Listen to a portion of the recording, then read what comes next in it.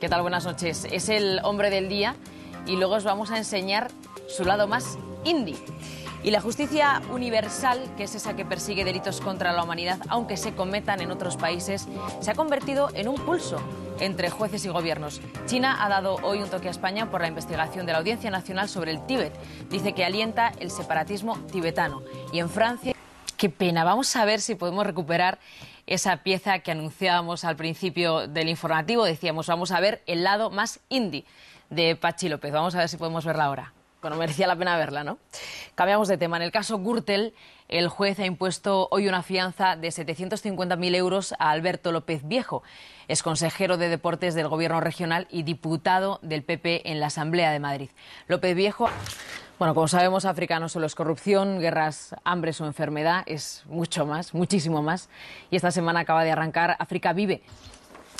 Hoy la Asociación Española contra el Cáncer ha sacado eh, las huchas a la calle para recaudar fondos que van destinados después a proyectos con pacientes y sobre todo a investigación. También se celebra el Congreso Nacional contra el Cáncer para analizar cómo van los avances. Por ejemplo, el descubrimiento del equipo de Masagues sobre cómo se extiende el cáncer desde la mama hasta el cerebro.